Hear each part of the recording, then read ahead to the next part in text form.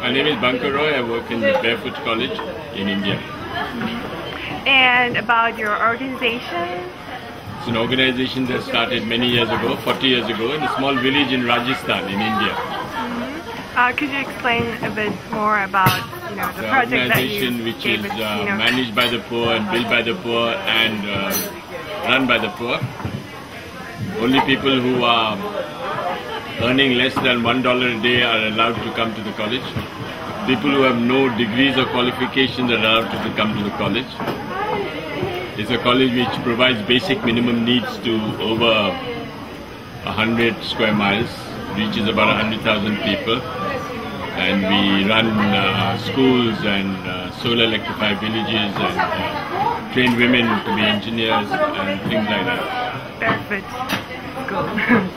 yeah, uh, and could you give us uh, your big idea or the philosophy, um, you know, that you would like to share with are- other people? The philosophy is that there are traditional knowledge and skills available in very poor communities all over the world which are not being utilized or recognized or applied on a large scale.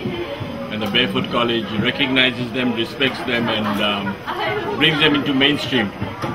And we want to show and demonstrate that you don't really need urban skills from outside uh, when you have the skills within the country itself and within the community itself. So that is the idea of the Barefoot demystify and decentralize.